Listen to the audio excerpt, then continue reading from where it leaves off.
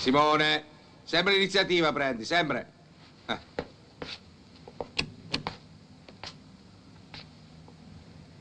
Non suona. Sarà rotto.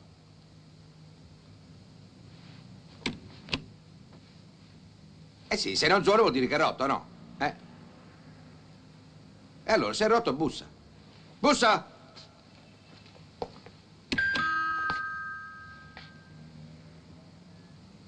Come cavolo è che a te funziona sempre? Perché a me non deve mai suonare niente? Madonna, ce l'ho una crescendo, calma, calma. Porca puttana maledetta, ci devo comunicare una cosa urgente a questo. Ma io non lo so, ogni volta che ho in mente un piano geniale non c'è male interessante. Non è in casa questo fracchia. Se questo frecchia non c'è, eh, eh, ce ne andremo. Oh. Ah, salve. Mi scusi, signor commissario, ma ero di là che stavo, insomma, ero di là alla televisione, allora... Ma ci scusi, lei frecchia se la disturbiamo a casa, ma le devo comunicare una cosa veramente fondamentale. Possiamo? Prego, prego, venga. Dopo di me. È sicuro che non c'è nessuno qua dentro? Posso parlare Sì, liberamente? sì, non ci sono che io. Ah, eh, bene.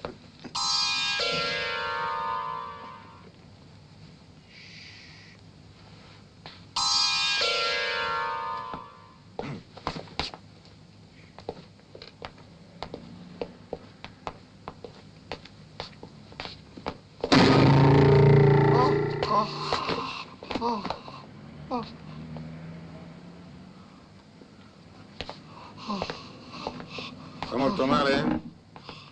No, sto sbadigliando. Fuma? Hai fumato in vita mia. Beato lei. Caro Frecchio, ma lei c'ha proprio tutti i pregi, eh? No. Mm.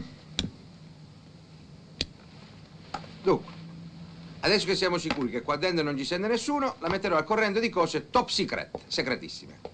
Noi della polizia abbiamo fatto delle indagini e abbiamo nelle mani una vera e propria bomba.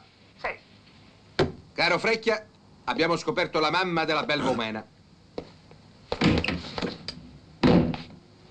Il delinquente assassino, F. Tendone, risulta morbosamente attaccato a questa mamma. Tant'è vero che rischia continuamente la galera per venirla a trovare. Eh, Siete sicuri? sicurissimi. È un'ex puttanazza prostituta palermitana. Anche lei devo dire che è molto legata al figlio, al figlio di puttana, ovviamente. Mi è venuta così. Oh, dunque, la polizia italiana, la polizia, io per la verità, ho avuto come al solito un lampo di genio e ho pensato un piano veramente esemplare per catturarlo. La belva. Eh, certamente, e chi se no? Eh. Ah. Dove posso... Non c'è un... Ma scusi, il tavolo? Ah.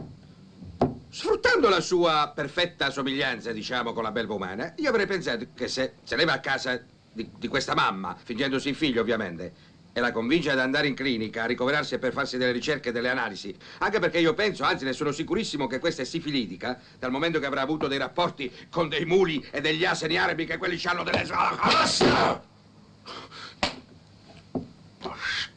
Ma scusi, perché si rifiutano?